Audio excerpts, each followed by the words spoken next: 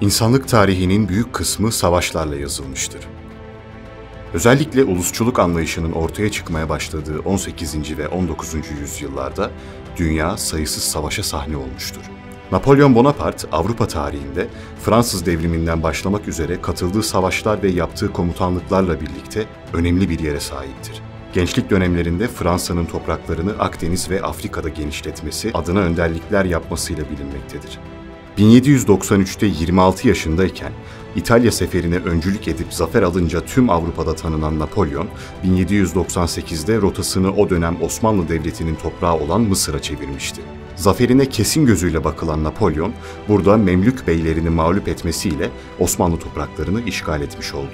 Bu sırada Mısır'da o dönemin isyanlarını başarıyla bastırmış ve komutayı kontrolünde tutan bir paşa bulunuyordu.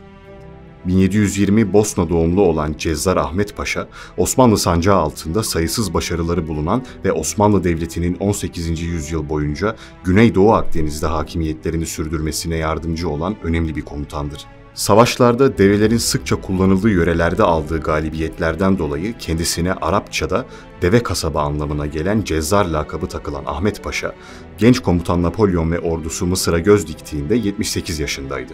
Hem paşanın yaşlı olması hem de bölgedeki halkların sıkça isyan etmesinden dolayı bu savaşta Fransız galibiyetine neredeyse kesin gözüyle bakılıyordu. Emrindeki orduyla Gazze ve Yafa'yı işgal edip bugün İsrail toprağı olan Akka Kalesi'nin kapısına kadar dayanan Napolyon, burada ilk kez Cezzar Ahmet Paşa ve Osmanlı savunmasıyla karşı karşıya kalmıştı. 1775'ten beri Akka'da muhafızlık ve vezirlik yapan Cezzar Ahmet Paşa, bölgeyi ve bölgenin nasıl savunulması gerektiğini avcunun içi gibi biliyordu.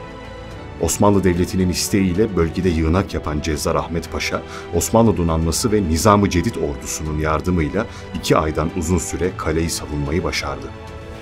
Dönem dönem ilerlese de bir türlü işgali tamamlanamayan Akka Kalesi'ndeki başarılı savunma bir süre sonra Fransız ordusunu rahatsız etmeye başladı.